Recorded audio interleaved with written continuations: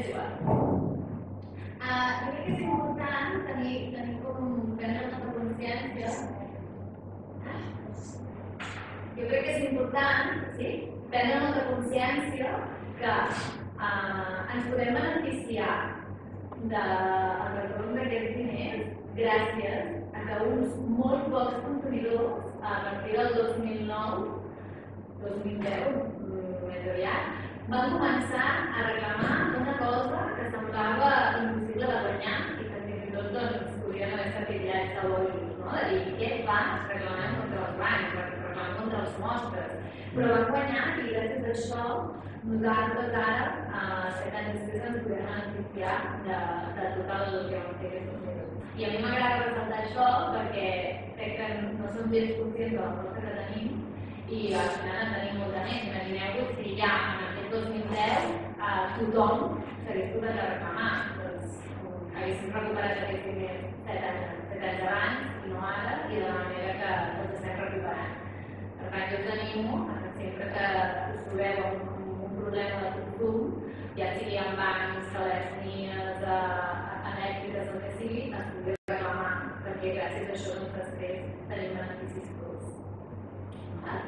Llavors, eh, ella, ella explicava molt bé no? tot, el és el contingut del, del decret. S'han trobat hipoteques que l'any 97-98 ja tenien eh, aquestes clàusules sol eh, i ningú se'n va donar. No, i els bancs sí que ho sabien, no? que passa que, clar, si la gent quan anava a, a, a contractar les, les hipoteques, um, l'Euribor en aquell moment estava al 5%, val? llavors, clar, els deien que um, el, el mínim estaria més o menys a uh, 3-3,5%, tot i que s'han trobat hipoteques que se'n van al, al 4,75, que és, és una passada, una clàusula terra de, de 4,75, però bueno, com que no es si la, la societat no percebia que hagués de baixar el tipus d'interès. Llavors va ser, això va en 97, 98, 99, començar el tema de les clàusules, llavors va ser entre el 2008 i el 2009, quan va haver tota la, qüestió de la crisi, que va començar a baixar el tipus d'interès, llavors va ser quan la gent es va donar de dir, ostres, que això pot baixar fins al zero i jo estic aquí al 3,5%. Val? Va ser aleshores quan se va començar a, a donar. I la sentència, bàsicament el que reconeix és que aquestes clàusules havien de ser comprensibles i transparents. Aquí, el benefici pel consumidor és que el fet que fossin comprensibles i transparents ho ha de demostrar el banc. La càrrega de la prova habitualment, en tots els aspectes eh, relacionats amb les normatives de, de protecció al consumidor, sempre la té l'empresa. Ah, llavors, hauria de ser el banc el que demostrés que eh, et van informar i tu havies entès de forma comprensible i, i detallada aquesta informació. I això és molt difícil de, de, de, de demostrar. Encara no eh, hem vist cap de les respostes que el banc ha donat consumidors i no sabem quines s'inventaran per esquivar una mica la qüestió Què passa? Pues que aquest reial decret no s'havia de fer mai, perquè té una sentència 1 que és del Tribunal de Justícia Europeu que, clar, si jo si fos l'estat espanyol em moriria de vergonya perquè ha sigut eh, el Tribunal de Justícia Europeu el que ha hagut de venir a dir no, no, això és nul i és retroactiu. I què feu en aquesta història de que llavors el país s'escondrarà perquè si els bancs retomen totes les clàusules sol serà un drama.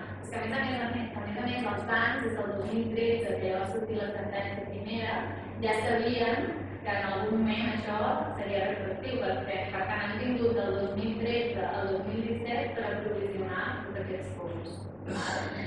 No és una excusa. Aleshores, un, que em moriria de vergonya un cop que el Tribunal de Justícia hagués de venir a cantar-me les 40, i dos, uh, si és una sentència, el que s'ha de fer és aplicar-se. Que els bancs donen diners i s'ha acabat. Bueno, doncs aquí, un altre cop, com que el, bueno, sí, el, el govern espanyol ja sabem qui són i estarem a favor de qui van, han muntat tot un periple als consumidors, que evidentment això senzillament és una criba. O sigui, és que uh, dels 100% de consumidors que els que haurien de retornar les clàusules sol, doncs, no sé quins números, però probablement s'acostaran cap als 30-35% els que acabaran recuperant els diners. Tota la resta o no reclamaran, o els diran que no, o bueno, més tenint en compte que hi ha moltes persones grans que no tenen l'opció de, de reclamar. Segon problema, ja que s'ha fet el, el decret, a més fet-ho bé. Què us vull dir amb això? El que ha fet aquí l'estat espanyol és espavilar-vos vosaltres i establert una negociació entre el consumidor i el banc. Què vol dir això? Um, per exemple, les participacions preferents, el que vam fer van ser arbitratges, van ser procediments arbitrats. En un procediment arbitrat hi havia un àrbitre, val, que era un jutge, que deia això eh, han de retornar tants diners, el banc ha de retornar els diners al consumidor, es dictava un laude que recuperava la sentència i així es feia. Ara el consumidor està completament desprotegit davant perquè és espavilar-vos, negociar vosaltres, i si us enteneu, doncs ho arregleu, i si no, doncs cap, als, cap, a, cap als jutjats. Clar, és una intervenció brutal de cara al consumidor. Després, quan entri en els temes pràctics, us aniré assenyalant totes les intervencions. El seu argument era per evitar el col·lapse dels jutjats, estaven molt col·lapsats. Bueno, doncs si tens una banca que fa recursos de coses, el que has de fer per descol·lapsar els jutjats és canviar el sistema bancari no? i evitar que passin aquestes coses, però no pots uh, reproduir aquest problema uh, i traslladar-lo al consumidor. Val? Uh, llavors, hi ha algun entremig, o sigui, el, hi ha un període, un període com d'impàs, no? Des de setembre fins ara, perquè el govern espanyol ja sabia que el Tribunal de Justícia Europeu segurament declararia la retroactivitat del retorn dels diners de les clàusules terra i fins al 22 de desembre no ho va saber fer. Llavors, ha hagut com un període que els bancs ja sabien que hi hauria aquesta retroactivitat i el que han fet ha sigut oferir, és que és superperversa, eh, oferir des del mes de setembre fins al desembre, aprofitant-se de la informació del consumidor, oferir a molts dels consumidors que tenien clàusula de sol eh, de canviar la hipoteca i passar-la a una cosa, a un interès. Val? Això ho ha fet tant de Sabadell, sobretot. Llavors, aquí no ho sé, però abans hi ha moltes persones que van signar al mes de setembre un canvi de hipoteca al fixa, el problema era dos problemes. Un, el canvi aquest del fixa oferia un interès del 2,5%, val? quan ara està a 0, 0 i alguna Per tant, si el consumidor automàticament val? Uh, podria reclamar ja, així com el Europea quan va fer la sentència, va retirar les clients de la font, perquè vam veure va ser un dels bancs els quals van estar jutjats al tribunal. Val? El banc de Sabadell no va retirar les clàusules i la gent podia reclamar que d'entrada li traiessin ja, que deixessin de pagar aquest 3% i després ja parlaríem del retorn. Val? Doncs clar, la gent estava pagant el 3,5%, val? quan hauria d'estar pagant el 0 i tipus, però com que eren desconeixedors i no tenien informació, el banc els va oferir un 2,5%. Clar, de pagar el 3,5 al 2,5 et deia, no, no, és que vull rebaixar 100 euros, 100 euros, 100 euros la hipoteca, no sé què, no sé quantos, doncs molta gent s'ho va menjar. Quan realment, en aquell, en aquell moment, haurien d'estar pagant el 0, 0,6 o així. Val? El problema d'això és que, a més a més, en aquest nou contracte hi havia una clàusula que deia que tu renunciaves a reclamar qualsevol tipus de devolució per la raó que fos. O sigui, estaves denunciant en més O a més a més que et feia la jugada de, de quedar-te al dos i mig quan realment no havies estat de tipus, hi havia una clàusula que et feia renunciar a dret a reclamar. O sigui, això ha passat ara, del setembre fins a desembre, que ha sortit la sentència de la retroactivitat. perquè veieu que per moltes sentències que surtin, els bancs seguiran sent perversos i els bancs seguiran fent negoci. I a més a més, l'estat espanyol està fent aquest real decrets que es beneficien, perquè la gent no, no, no reclamarà el 100% el que són les clàusules sol, perquè hi ha molta gent que no sap si tenen clàusules sol.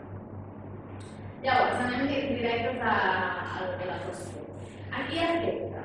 Um, aquestes aquestes mesures que hi ha dintre d'aquest decret legislatiu afecta a les persones físiques que actuen sempre amb un propòsit aliè a la seva activitat comercial, empresarial, ofici o professió. Què vol dir? Això és molt important perquè és la catalogació del consumidor final que estableix la normativa. És a dir, que si jo tinc una clàusula sol d'una hipoteca d'algun espai que m'he comprat perquè és la meva botiga, d'entrada no estic protegida per aquest Real Decret. Aquest Real Decret només protegeix els consumidors finals. Com totes les matèries de consum, com totes les normatives de consum, que només protegeixen el consumidor final. Les empreses, en principi tenen els seus gremis, tenen els seus que, que vetllen per ell, val? i si no, doncs se'n va anar a la llei judicial, perquè també podrien reclamar. Afecta les persones que actuen com a fiadores en una hipoteca clàusula sol? D'entrada no, només es refereix al títol d'autor i no als fiadors. Val? I una altra cosa és que la norma sí que preveu la possibilitat que en un s'ampliï a altres consumidors relacionats amb el presentari. I quins contractes s'inclouen? Doncs són els préstats o crèdits garantits de hipoteca immobiliari que, que incloguin una clàusula sol. Val? La norma no preveu res perquè fa els casos en què crèdit hipotecari ha estat titulitzat, per això es diu fons de titulació. Això no entra. Com puc veure jo que dins la meva hipoteca hi ha una clàusula sol? D'entrada i de forma generalitzada és bastant fàcil de veure, de detectar. Llavors, si voleu saber si tenim una clàusula sol, heu de mirar l'escriptura no de la compra-venda, sinó l'escriptura del préstec hipotecari. I cap al mig, més o menys, de, del centenar de punts que té, no, no té tant, però així, uh, hi ha un apartat que fica tipus d'interès variable. Val? I aleshores, en, en aquí hi ha, hi ha d'aparèixer normalment doncs és això, el màxim per dalt, que és el, o sigui, el màxim que normalment són de 6, 17 i 19%, i un mínim de normalment entre 3, 3,5, 3,75. Això moltes vegades està escrit en números, però moltes vegades està escrit en lletres. Val? Llavors costa una mica més de trobar. I després, al final de tota la hipoteca, en les últimes pàgines, també apareix una frase que diu aquesta hipoteca té un índex, uh, un interès en tipus variable. Val? Això seria la manera de trobar si tenim una, una clàusula sol. Poden reclamar eh, els consumidors que ja tenen la hipoteca pagada, no? Si jo doncs, vaig acabar, vaig acabar de pagar fa dos dies la hipoteca, però clar, ja des del 97-98 que es van començar a incloure les clàusules sol, puc reclamar el consumidor que ja tingués tota la hipoteca pagada eh, en què hi ha una clàusula sol, sí, pot reclamar. L'única novetat és que, a més de poder-ho fer per la via, via judicial, com es podria fer ara, doncs també es pot fer per aquest procediment que és extrajudicial, i aquesta negociació. D'acord? A veure, quin més? Ah. Va. Davant de quines entitats bancàries he de reclamar? Perquè això també és un gran problema, perquè jo tinc una hipoteca de fa molts anys que aquest banc ja no existeix. La majoria de, de, de persones venen amb aquesta pregunta. Um, davant de qualsevol entitat amb la qual s'hagi signat uh, una hipoteca i s'entén que totes, o sigui, per exemple, Caixa Penedès, que després se'n va anar a Mare Nostrum, Mare i ara se n'han anat a parar a la de Sabadell, doncs ens hem d'anar a reclamar Banc de Sabadell, perquè és al final l'entitat que ha acabat menjant-se a, a Caixa.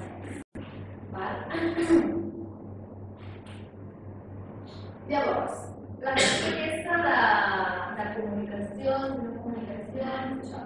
D'entrada, això és una cosa que la Montse potser em pot ajudar, perquè jo encara no tinc clar uh, fins a quin punt, sigui, d'entrada el banc hauria d'informar els consumidors que tenen una clàusula sol. El que no obliga és enviar-los una carta a casa seva per informar-los del procediment. O sigui, el banc ha d'informar del procediment, però entenc que no obliga a enviar una carta a cadascú dient que té clàusules de sol. O sigui, que si només ho anuncien a la seva pàgina web, ja estaria vàlid.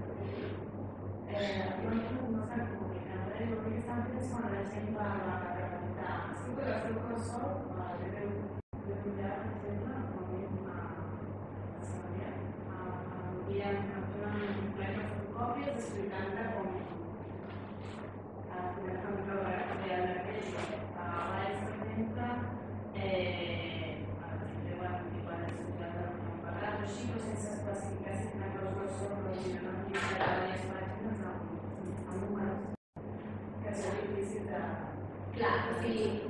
però el ple de com es podem fer de l'emergència. A dir si si aquí dret hauria pogut és obligatori enviar una carta a tothom que té una clàusula de sol, a menys no, que, que, que li costa, no? hi ha cartes per tot, per, per si contractes un assegurat, per una carta per informar que tens una clàusula de sol.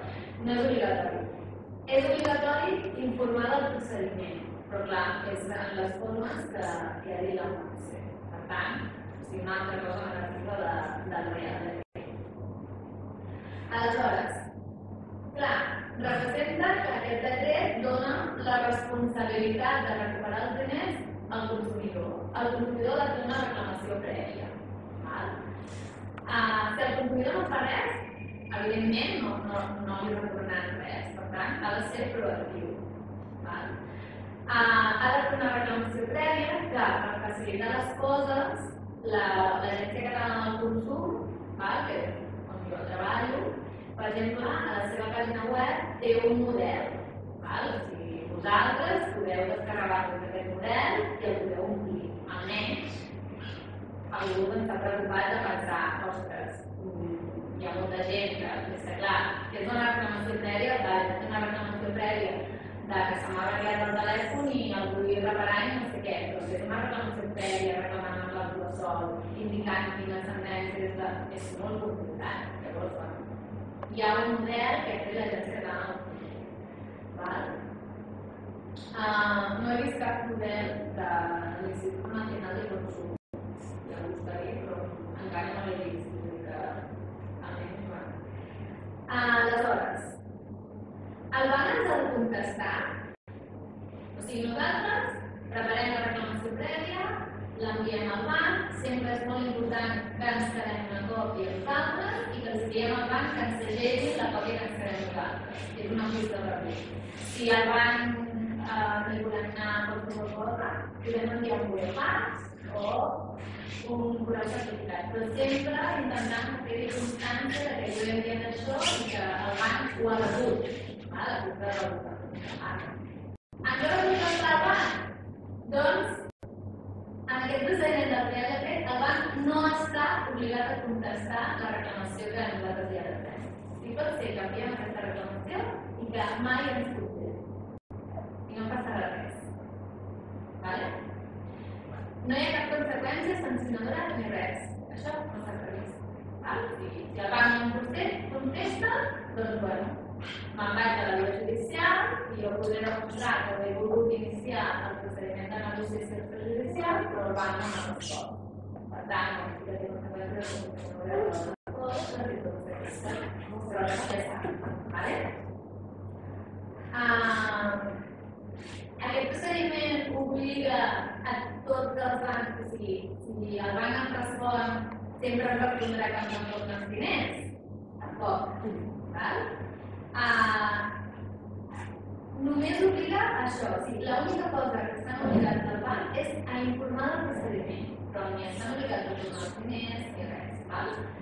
Uh, sí que estan obligats també en doncs, aquest article d'informar a disposar d'aquest departament que deia la, que deia la Montse especialitzat per atendre aquestes reclamacions.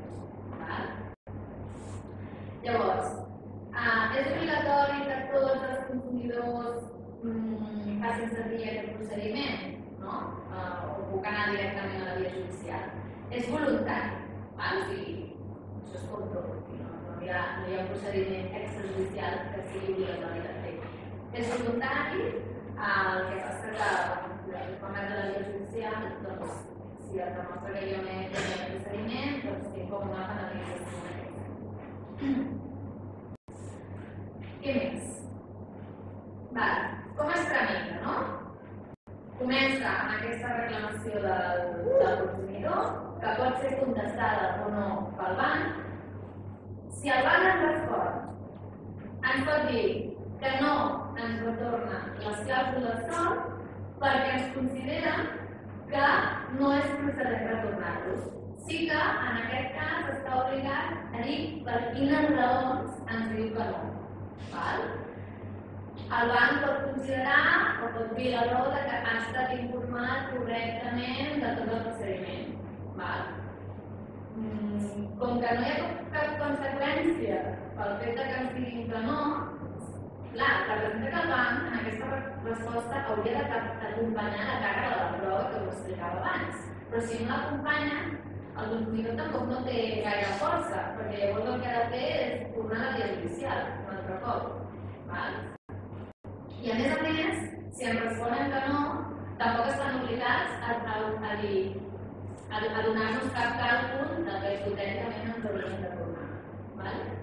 Llavors, si em responen que sí, en el cas que hauria de ser generalitat, si tinc molta curiositat per saber què faran el banc, estic expectant. Si em responen que sí, ens han de donar el càlcul desglossat de la quantitat a retornar. Val? Llavors aquí és on des del meu punt de vista arriba el màxim moment de l'explotació del consumidor. El consumidor rep una carta a casa dient que li han de retornar 2.000 euros. Com sé jo que aquells diners són els que realment m'han de retornar? Què vol dir? Que llavors m'han d'anar a un assessor, m'han d'anar a un especialista, m'han d'anar... Clar, a més, aquest procediment dura 3 mesos. Uh, una, altra, una altra negativa. Aquest procediment no marca quant de temps té el consumidor per pensar-s'ho. Normalment els bancs estan donant, bueno, o diuen que donaran 15 dies. Val? Però si el banc a mi m'envia la carta, jo no vaig trobar si és obligatori 15 dies.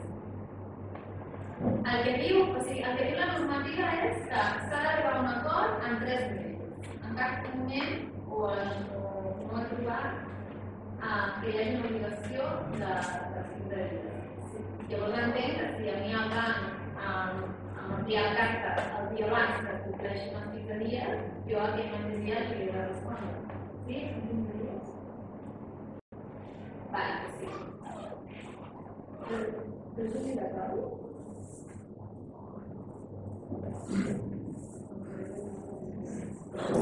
molt. Bé, posem que en aquest cas que són una mica i ens donen 15 dies. Home, en 15 dies, pues, bueno, jo crec que de tot quan els bancs comencen a respondre, doncs que ja comencin a una hora per assessorar-nos, no? que segurament eh, en aquests 15 dies em respondran.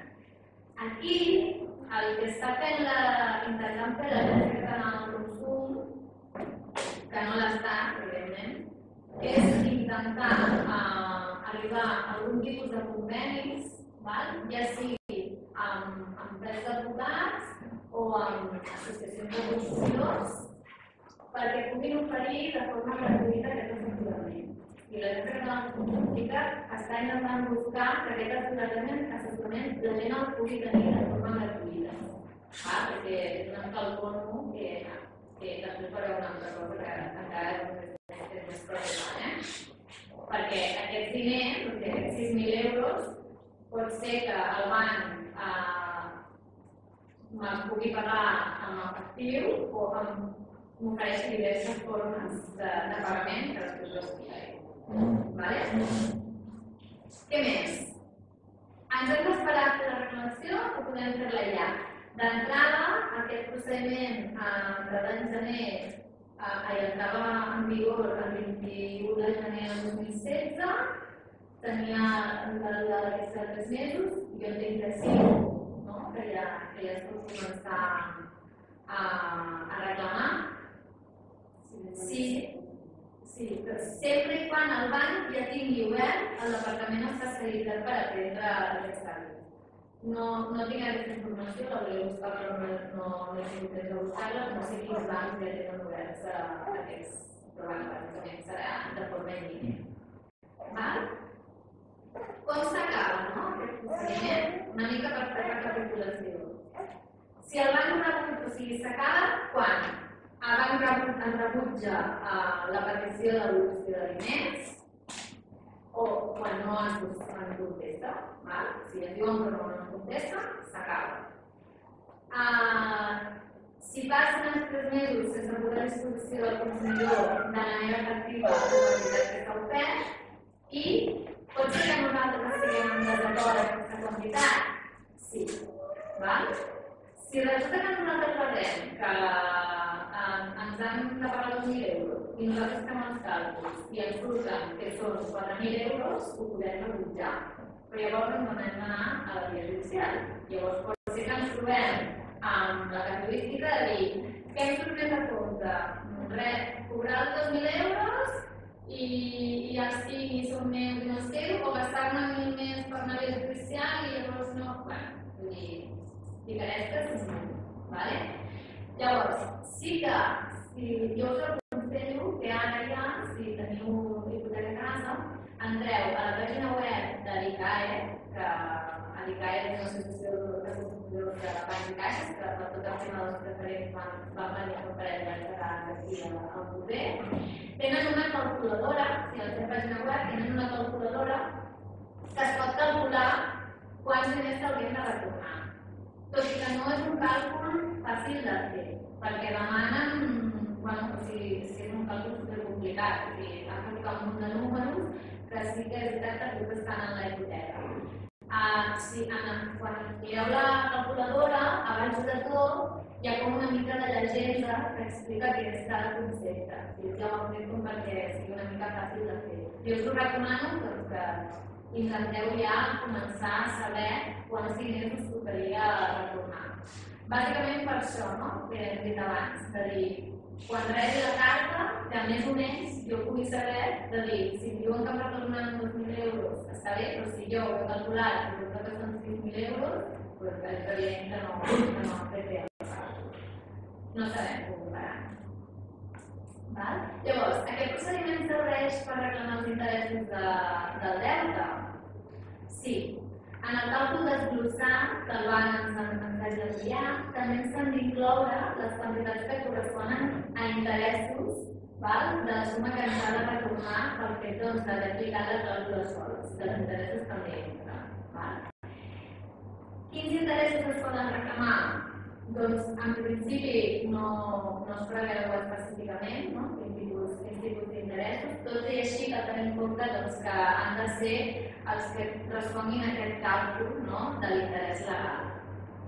Si no són interessos de mercat, són, són interessos legals. Què més? Bueno, això de que, de que no és obligat que s'accepti. Vale. En principi, si nosaltres no acceptem, o sigui, si, si quan rebem la carta no ens manifestem, val? també podria ser doncs, que estiguem de vacances o així passin 15 dies i no ho veiem, bueno, uh, no es preveu que, que passi res, no? O sigui, si tu no acceptes, uh, la interpretació sistemàtica que se'n fa val, és que uh, tu no acceptes la, la, la proposta d'aquest banc. Val? O sigui, si tu no respons d'entrada, uh, si tu no, no fas una manifestació expressa o tàcita, uh, s'entén que tu no acceptes aquella devolució. Val? Clar, això també és una mica, no sé si amb la normativa general és així, però clar, si, si veig la carta i, i, no, i no llegeixis i això i tens 15 dies, és que és un pel·lícula supercool, és que només que tinguis un malalt a l'hospital potser que 15 dies està passant volant, no?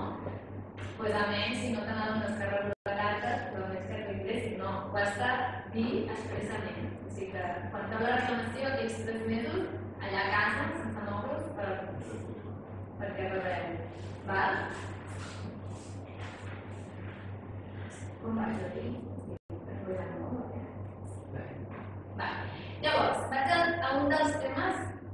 Que, des meu punt de vista, poden portar més controvèrsia. El guany ens ha de pagar amb diners o pot ser d'una altra manera? Doncs el Real Decret contempla que sí, que es pot pagar d'altres maneres. Vale? Aleshores, es pot acordar mesures, o sigui, la frase és, es poden acordar mesures alternatives diferents de, la, de la devolució en efectiu. Evidentment, jo crec, o no sé, pressuposo el 99% que els bancs mm, evitaran de totes totes retornar els diners així en efectiu, o sigui, ingressar-nos els 6.000 euros que hem de tornar al nostre compte corrent. Doncs la Real Decret planteja altres formes de retorn del diner. Com? Doncs, per exemple,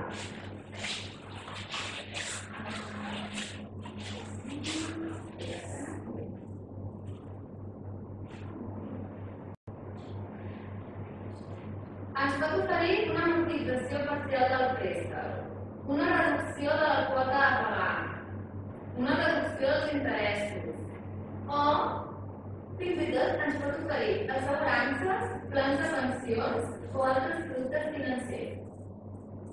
Val? O que si el banc m'ha de, de retornar 6.000 euros, em diu, t'ofereix un pla de pensions, fiques aquí 6.000 euros i jo segueixo fent negoci.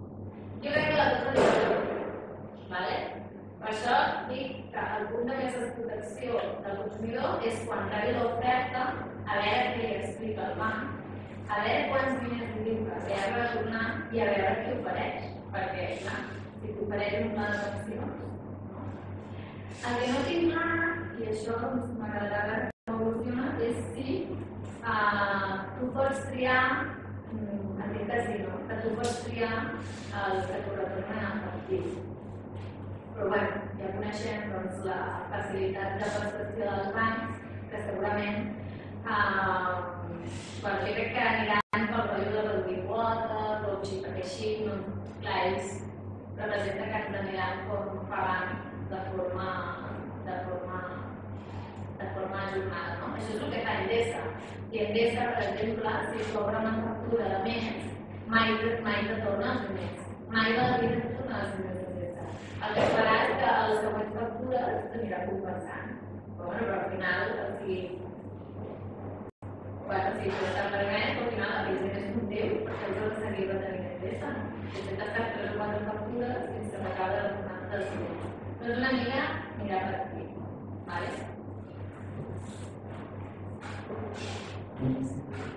Vale, llavors, aquí hi ha més un, un altre tema complicat, que és la qüestió de que si jo arribo a un acord amb el banc, clar, s'ha de fer una modificació de l'escriptura de la hipoteca. Val? Llavors, diu el DLT que si s'arriba a un acord s'haurà de documentar a través d'una escriptura la modificació del crèdit o préstec hipotecari si la hipoteca encara està en vigor. Si està pagada, doncs no cal. Per tant, bueno, és una mica més de complicació, de paperats, tot són complicacions, no? perquè al final doncs, acabarem una mica més angoixats del que, del que estem ara. Qui paga les despeses d'aquesta nova escriptura? Vale? Aquesta és la pregunta. A veure, aquí què diu? Diu, depèn de la regulació aplicable i de l'acte que es sol·liciti. Diu, si s'ha de provocar una nova escriptura de modificació del crèdit, la despesa de l'aranzels notarials que se'n deriven, que inclouen també la l'obtenció de la còpia autèntica de l'escriptura, correspon al banc. Vale? Però la despesa derivada de les còpies simples, si jo les demano, correspon, correspon, no correspon a mi. La despesa d'inscripció en el registre de la propietat d'aquesta nova escriptura personal de les drets registrat correspon al banc, perquè és ell qui inscriu el dret d'hipoteca còdol. Això sí que llavors ja s'acorda amb també la sentència que va sortir de les despeses de la constitució de hipoteca que ha citat la i l'ha reclamat més un altre president diferent. Recordeu que sabeu tots tres. Vale? I més o menys, crec, tot l'altre ja són coses com Hi ha algun control procediment? O sigui, el, el govern de l'estat espanyol ha fet aquest decret i ja, no? o, o farà un seguiment o alguna? Bueno, eh, d'entrada, el marge de les competències generals que té el Banc d'Espanya, val? tot i que el Banc d'Espanya té competències, però és tan paradigmàtic que no són vinculants, o sigui, tot el que fa el Banc d'Espanya mai és vinculant, o sigui, això també diu molt no, de quin és el sistema financer que tenim. Sí que es preveu un òrgan de seguiment, control i avaluació d'aquestes reclamacions. Llavors, sí que s'emetrà un informe semestral sobre aquesta actuació i d'entrada aquí es podrà participar el que són els representants dels consumidors i de la població. Llavors serà l'única forma que si els procediments no s'estan fent bé es tindrà de presionar. Però bueno, jo no m'he Ah, trobat? Això és, es podrà regular, seguir per la regular. Ah, pues mira, aquí la dreta canviat. La dreta canviat, ja ho considera. La dreta canviat. I jo crec que més o menys amb això ja, ho tenim. Llavors, dit la Montse, um, des del meu punt de vista de tècnica de consum, jo el que us és que uh, sigueu vosaltres mateixos els que feu el, aquesta reclamació, que sapigueu que a la pàgina web de l'Agència Catalana del Consum hi ha tota la informació necessària per poder tirar endavant aquest procediment, però que si no em podeu trucar a mi, que estic al Consell Comarcal de l'Altà, i jo us retré. Vull que eh, de moment hi ha habilitats eh, que són les oficines de consumidor per poder donar aquesta informació. Hi ha algun ajuntament que en col·laboració amb l'oficina de consum també han, han obert punts de, de tractament d'informació mitjançant les oficines d'habitatge, vull dir, hi ha hagut fórmules vàries. Vale? Jo sí que us animo que no us gasteu més diners, val? perquè, clar, si té la llei, té del negoci. Jo ara estic escoltant per la ràdio tots els fets advocats que diuen que jo t'aconseguiré no sé què. Sí. És que clar, és que sembla que el, el dret de dret sigui per, per, per fer negoci els advocats, i perquè clar, eh, és el consumidor al final haurà d'acabar anant a un assessor, perquè depèn de l'oferta que regui, sí que hi ha consumidors que poden arribar a entendre el que és el zero financer, però la majoria de consumidors no. Llavors, o la gent que anava a productes espavila i comença a habilitar aquests crèdits d'assessorament per gratuïta, o al final haurem de pagar si estic per aquest assessorament. Jo d'entrada, pel que és la reclamació no és necessari, tenim el formulari de l'Agència Catalana del Consum, que el descarregueu, el descarregueu això, i en tot cas, si quan rebeu l'oferta encara no hi ha aquests punts d'habilitats, doncs eh, busqueu assessorament. Llocs on jo considero que, que hauríeu d'anar a buscar assessorament, un és, ja que si, si, si gratuïtament no existeix, doncs a una associació de consumidors, la que nosaltres estem treballant és a l'ICARE, que tenen seu a Tarragona, val? llavors si, si ells, jo crec que tenen la idea de desenvolupar en alguns casos doncs, si hi ha, hi ha molta demanda de poder desplaçar-se per territori, de fet ja va venir per, per que és la preferent, i d'això en van quedar molts socis del govern, que hi ha molts socis d'aquestes institucions que el govern podrien demanar, o eh, bueno, anar a de forma autònoma com la Montse, o si no, bueno, també hi ha el col·lectiu Ronda, que aquí no està molt implantat, però sí que també doncs, eh, està treballant en això i no busca fer un negoci aprofitant-se de l'ocasió. Són, són d'aquests tant a l'ICAE com al col·lectiu Roma, per exemple, són d'aquests que ja des de l'inici van lluitar i han lluitat molt per tirar endavant tot això. Llavors, bueno, ara sí que hi ha èpoques que estan fent una mica aprofitant-se de la situació. Bueno, sabeu, nosaltres donem per males notícies, però bueno, jo crec que entre tots ens en sortirem i no sé, volem que nosaltres per donar-vos així suport i no sé, molts anys. Eh, Ara.